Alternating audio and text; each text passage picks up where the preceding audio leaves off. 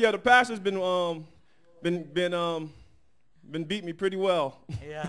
in ping pong, but it's it's been good. It's been good. It's been a good um experience because it um yeah, I'm letting them Yeah, win. You know, you know, I'm I'm missing I'm I'm I'm I'm missing the ball on purpose and everything.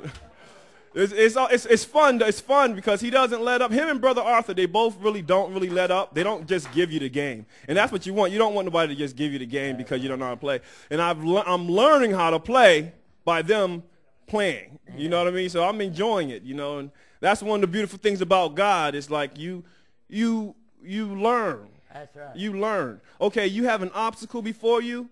You learn how to just stand there and wait until you overcome it because you are going to overcome it because God is an overcoming spirit. That's what he is. He's an overcoming spirit. That's the difference. Amen. So we magnify the Lord for what he is and we magnify him for his mercy and grace. We don't we magnify him for his mercy and grace and we're dependent totally on his spirit. There's no condemnation in those that are that are in Christ Jesus, those that are called according to his purpose. No condemnation. Amen. Amen. Amen. So I magnify the Lord. Amen. Amen. Amen. I, I um, magnify the Lord. I wanted to get up here and magnify the Lord.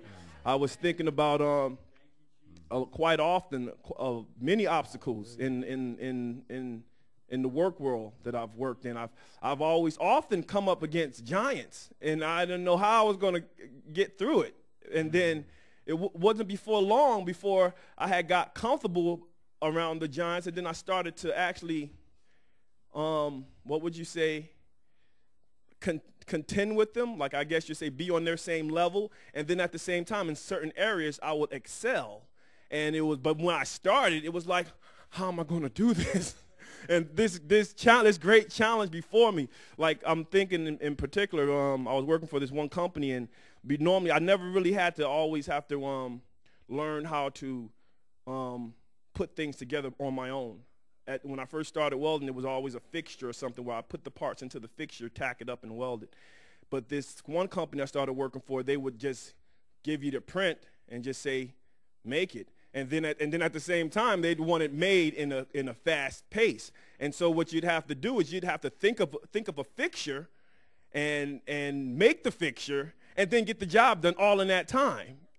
and so, it, and so it, it, it, it was a challenge. And I was like, why are they doing things like this? It's impossible. How do you expect to make money if you want us to every time make a jig and build a jig and then, and then put it tack it to the table and then make the part and then you're not making money that way but but actually they're making money that way because they're they're it was a, it was more so like a training now and it wasn't it wasn't wri- written out in a manual like they didn't give you a manual and say this is how we're going to train you but it was a training. It was almost like um karate kid you know he he made him paint the walls he made him wax on wax off and he was like what are you doing? You got me you got me cleaning and i'm not learning anything. And then he threw him on the um then he um took him out and he showed him that he was actually learning something you know.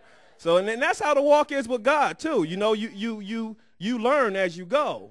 And so i magnify the lord for for um for his overcoming power because that's what he does. It's like you're in a situation, but be of good cheer because he has overcome the world. So there is nothing that you're in, in the middle of that you're not going to overcome. You will overcome. According to your faith, only believe. Believe that he will do it, and he will do it. Amen. And rest.